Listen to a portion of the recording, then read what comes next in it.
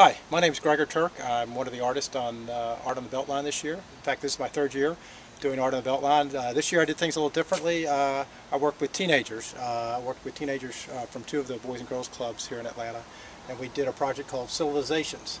And so uh, the young teens made different sculptures of different types of structures you might find in, in various civilizations around the world. the girl here made sort of a Japanese influenced architecture.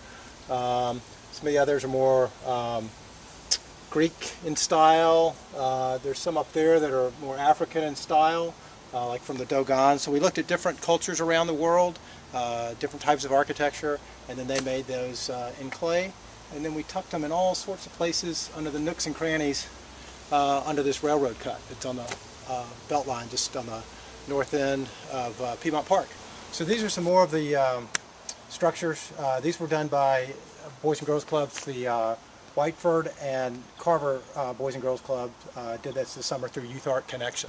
So one of the things about civilizations, uh, one of the aspects was we wanted to have a piece that was a, a, little bit on the subtle side. So you can actually walk by this piece and not even uh, notice it. Or, as a lot of people have, they'll they'll catch their eye will be caught by a piece or whatnot, and then they'll they'll notice a whole area and then they'll notice a whole nother area. And so uh, in this area right here, uh, this one is uh, a lot of rondavels, uh, sort of an African influence architecture.